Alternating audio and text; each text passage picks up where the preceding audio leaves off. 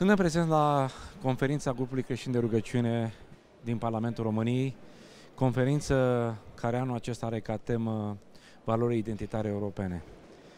În calitate de președinte al grupului creștin de rugăciune din Parlamentul României, implicat uh, foarte mult în organizare și în tot ce înseamnă acest eveniment, cum vedeți tema aceasta uh, în contextul României din 2019?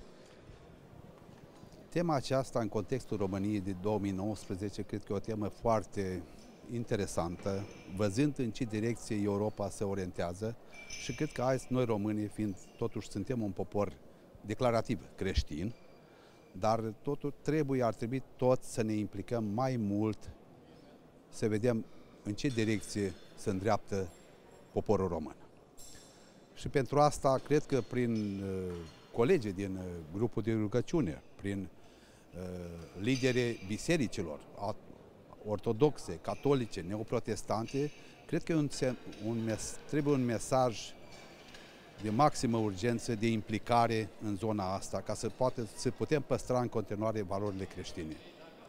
Practic, dumneavoastră ca lider și împreună cu colegii dumneavoastră declarați încă o dată public că preocuparea principală a grupului de rugăciune este promovarea valorilor.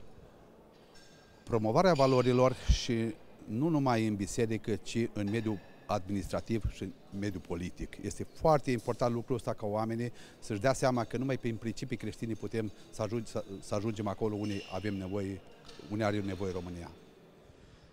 Vă mulțumim pentru această temă și vă urăm succes atât dumneavoastră cât și colegii dumneavoastră. Mulțumesc mult, vă felicit pentru acest, această televiziune și sper că împreună vom face echipă bună și vom face tot ce trebuie pentru a schimba în bine România. Vă mulțumim mult!